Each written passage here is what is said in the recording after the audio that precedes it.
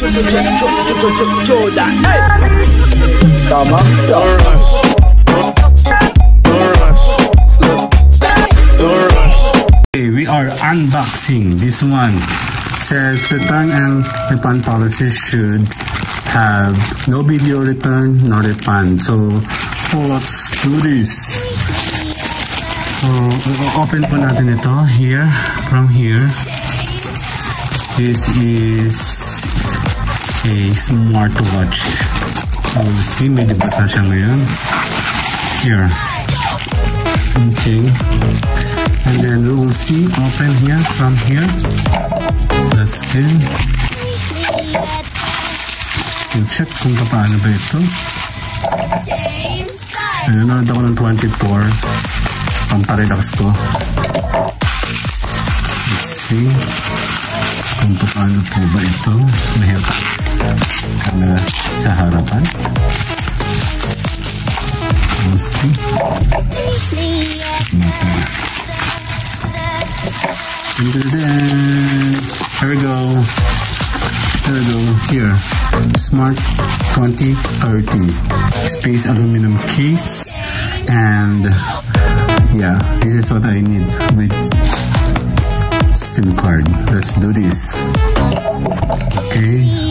Seal dimension. Black. 4GB. 4G and 64GB. Let's go. Natin.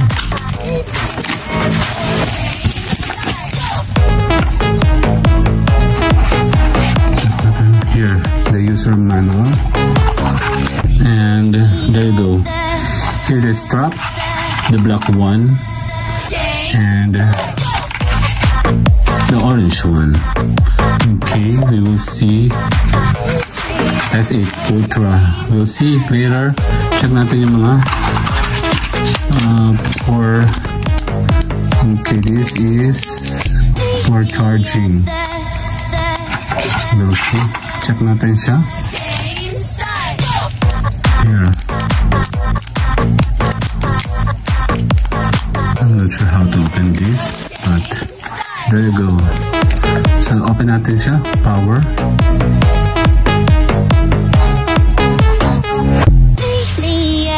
Wala. Here.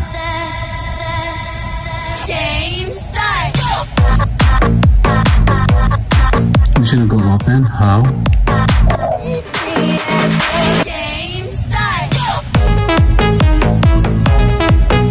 Bakit hindi siya nag-open? Nasaan ang SIM card ito?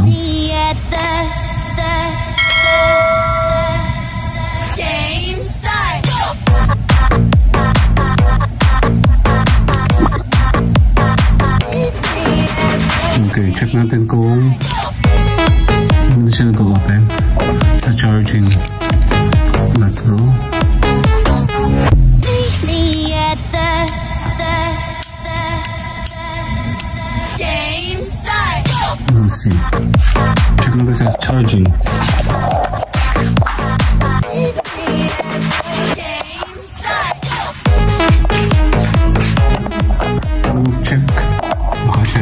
siya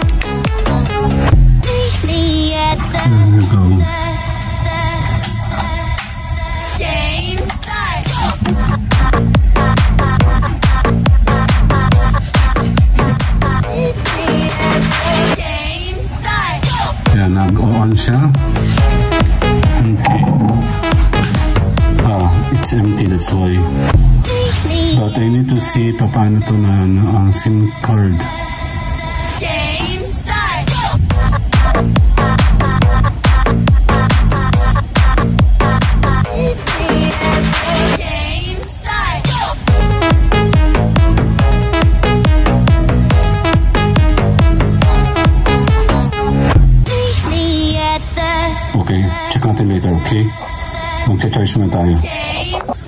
Okay, konting charging. Check natin, may 1% na siya. Okay, na-insert ko na yung kanyang SIM card.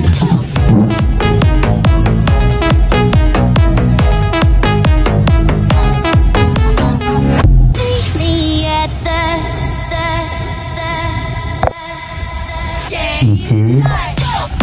konti is in charge. We will see kung siya po gumagana. Smart 2030. Hindi ba siya globe? Kailangan kasi ng is doesn't type and device may shutdown. Okay, nagsi-charge naman siya. 1%.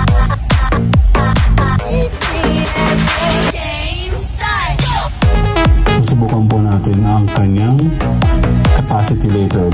We'll see. Pa- Pa-insert na natin yung SIM card. Hold on. Okay, check natin kung paano magtanggal. Dali.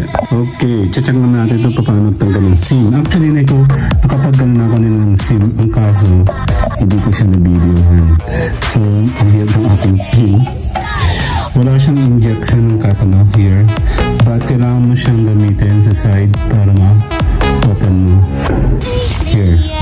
So, meron na siyang akong nalagay na SIM card. There you go. See? This is SIM card. We will see kung paano siya. Okay. Gumagana na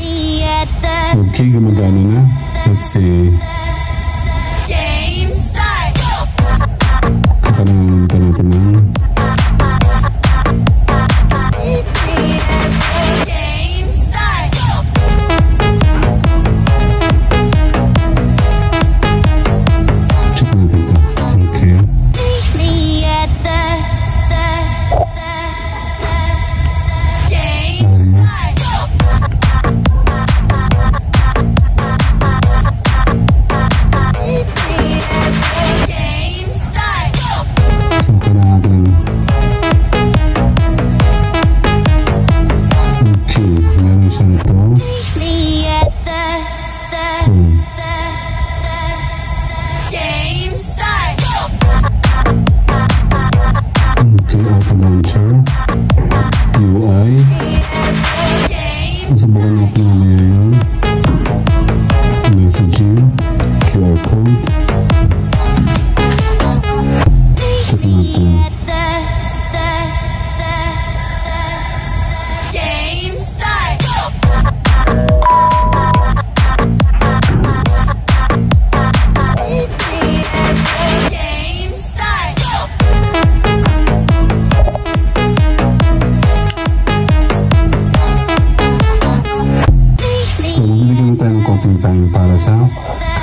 kanyang. Okay, hold on. Okay, we will check again. That's good. I think this is more than 5%. Okay, 17%. Let's see.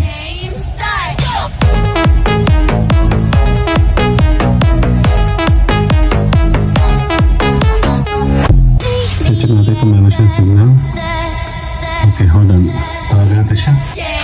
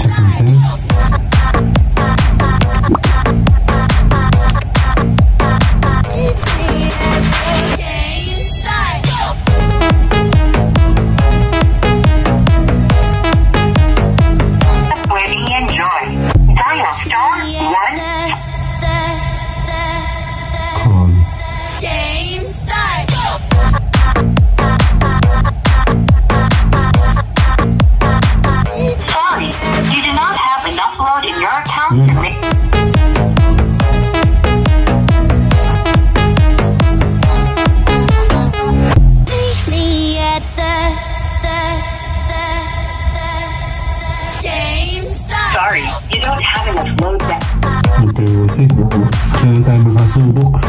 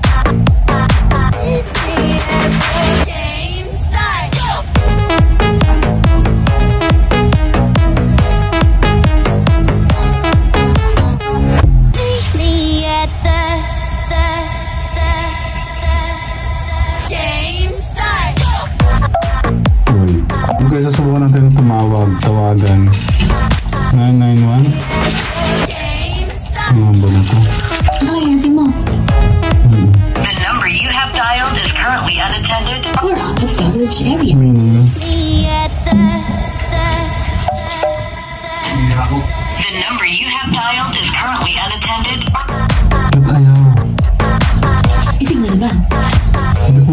ba? The number you have dialed is currently unattended or out of coverage area. Please call again later.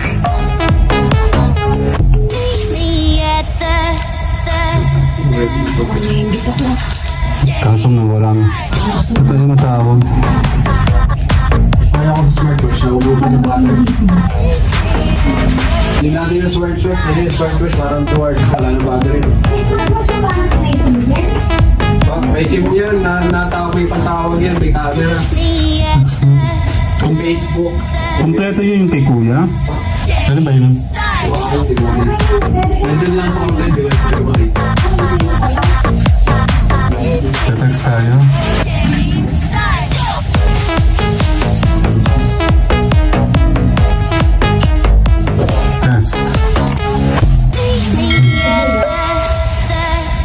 The, Yan, nakareceive ako ng message.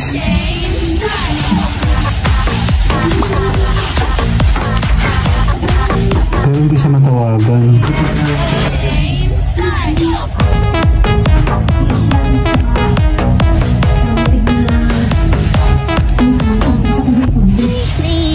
Hindi ako pag-register eh. Hindi. 23%. game Hindi. Okay, susubukan natin mag-call. Okay.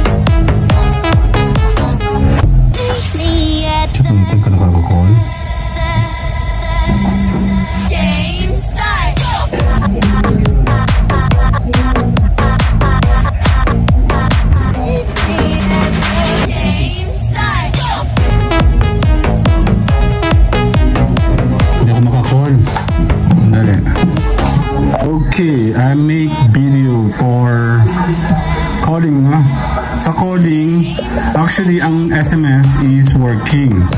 This is the SMS. Text. Yeah, nakaka-receive ako ng text and I'm sending text back. Okay, it's working. The problem, calling and data, it's not working. So we will see um, call history. Si, um, nag-try tayo ng miss calls. Wala akong mga miss calls. Nag-try ako ng outgoing not. Ito, hindi sila nagsasucceed as well as incoming. So makikita natin, uh, this is the phone. Ito yung phone niya. Tatawag tayo sa kanya. Let's the, Okay. Dito. Here. Calling. The number you have dialed No working. Then, kukol tayo pabalik sa kanya. This is uh, the number. And si, ganyan din po yung nangyayari. Not working. I'm not sure. This is Tagalog, no? Kasi Tagalog yung server nito. Wala tayong nare-receive. Also, checking up for data.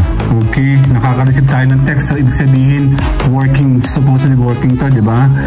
And then, punta tayo sa data. May wifi naman.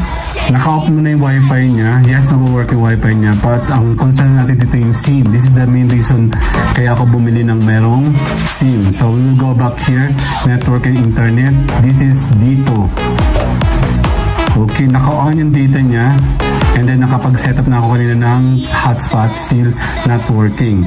Naka-off ang wifi niya para malaman natin na hindi nag-work. Okay. on. Nakita nila may signal ang dito.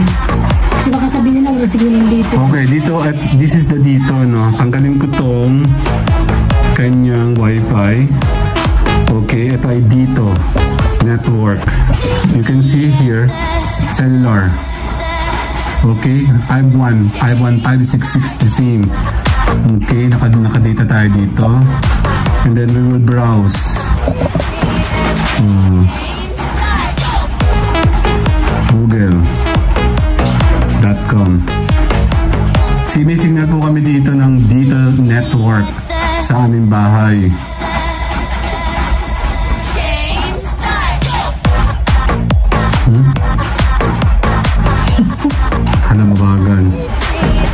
Yan, working C, di ba? Meron.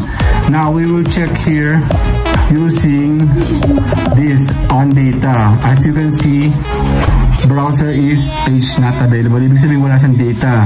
Subukan natin i-off yung kanyang data para mag-work yung mag-on tayo ng wifi no? mag-off ako ng data and then mag-on ako ng wifi okay we'll see now we are connected home only. See we'll check again.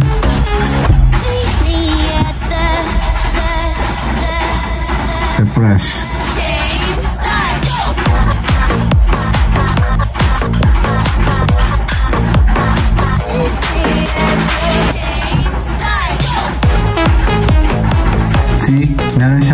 Google uh, sa browser using Wi-Fi. So, it's very clear na hindi nag-work ang data nito. SIM is working which means I inserted ng tama yung kanyang SIM card. Kasi kung sira yung SIM card nito, hindi sana ako makakareceive ng SMS or text sa Pilipinas, di ba? So, that's it. Uh, we are requesting to refund or change item. But make sure before you bring her here, uh, nag-work po yung kanyang data. No? Kasi yun po yung pinakang concern namin. That's the reason why kung bakit ako bumili ng smartwatch. Okay? So, here we go. Uh, requesting a refund or change item, uh, call. Now. I repeat, walang data. Okay? Masyado malaking file ko. Maduin na natin. Hindi nagana po yung data. I-off natin yung aking wifi. Okay, let's on. Data. Okay, kanina nag-test ako. To data, nag-work to. Ngayon, browser tayo. Data, nag-work siya kanina. Ngayon, refresh tayo. See? Not working. Tapos, as well, nakaka-receive tayo ng text. Nag-work yung, yung text. Ibig sabihin, okay po siya. And then, calling is not co- working also. So, one of the reason, kailangan ko ng calling. See, outgoing, incoming, wala. Hindi ako makatawag. So, I'm calling this one. It's not working. Okay. So, requesting refund or change item now nag-work ang data and calling.